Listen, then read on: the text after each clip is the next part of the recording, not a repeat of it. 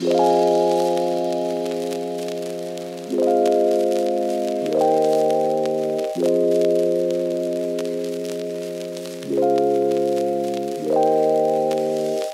hier naartoe gekomen omdat ik Young Creators ken van hackathons. Dus ik volg ze al een tijdje op, eh, op Facebook en ook de hele community. Het is altijd denk ik interessant om, eh, ehm, om betrokken te blijven.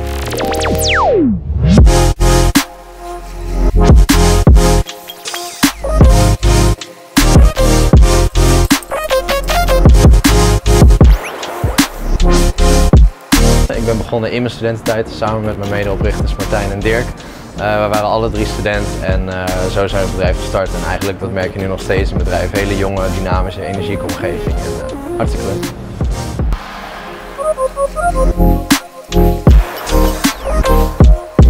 Als jonge ondernemer heb je absoluut het voordeel dat je weinig te verliezen hebt. Je hebt waarschijnlijk nog geen grote hypotheek, nog geen zes kinderen eh, of, en twee echtscheidingen achter de rug. Dat betekent dat je, ja, je kunt een iets groter risico, of in ieder geval eh, je hebt minder nodig eh, om de boel draaiende te houden.